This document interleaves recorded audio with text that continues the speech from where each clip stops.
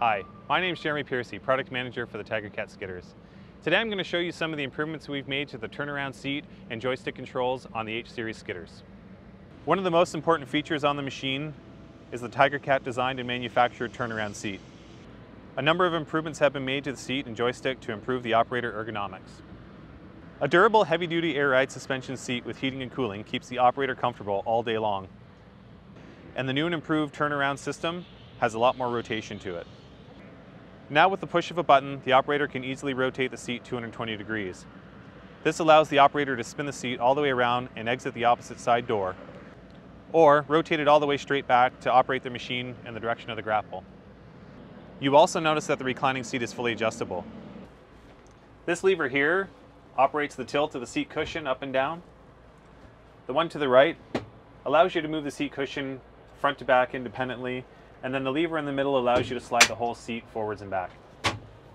The seat back can be reclined by grabbing onto the lever on the left hand side and leaning back into the seat cushion. Tilt-up adjustable armrests along with the lumbar support contribute to the operator's comfort. A secure harness comes standard for improved safety.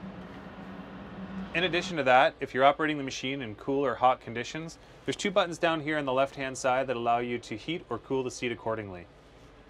Moving on to the joysticks, you will notice quite a few new features. On the right-hand joystick, a red button has been added. This is to apply your axle brakes. The button above that is your cruise control option. These buttons control grapple rotate clockwise, grapple rotate counterclockwise, constant pressure. Grapple open, grapple close. The differential lock control button has been moved off this joystick, giving us one spare button. This button can be customized to the user's preference in the main display. When the turnaround seat is in a position where you cannot see the main screen, this indicator here tells you when the constant pressure is on. Moving down here, we have our dozer joystick. You can raise and lower the dozer from here. Beside it is the winch control lever for operating the winch.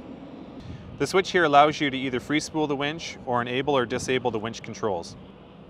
It also does dual purpose. If you had a machine equipped with something like a blade grab or an auxiliary function, the winch lever will control that function. We have the machine horn here, and then over on this side, we have the ability to start and stop the machine with a key switch. The two buttons here are to enable the machine drives and functions. The green button is to make it go and turn the park brake off. The red button is to stop the machine and enable the park brake. This button here is an engine emergency shutdown. So if you're in a scenario where you need to shut the engine down in a hurry, you can hit that button to stop the engine. On the left-hand joystick, we also have some new features.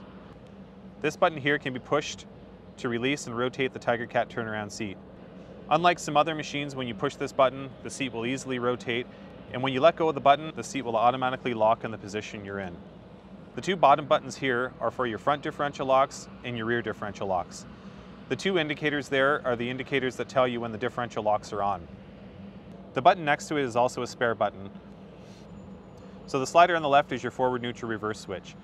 The forward direction is the direction that you're facing. If you want the machine to travel towards your back, you just pull the slider to the down position. The slider next to it is the maximum travel speed. There's an indicator on the screen that tells you the speed that you're at. To increase your speed, hold it in the up position, and to decrease the maximum travel speed, just pull the lever down. On both joysticks there are triggers. The left-hand joystick trigger allows you to drive the machine, and the trigger on the right-hand side can be configured to either rev up the engine or to apply the axle service brakes proportionally. Today we talked about some of the changes we've made to the H-Series skidder. If you want to learn more, head on over to Tigercat TV and check out our H-Series walk-around video or contact your Tigercat dealer for more information.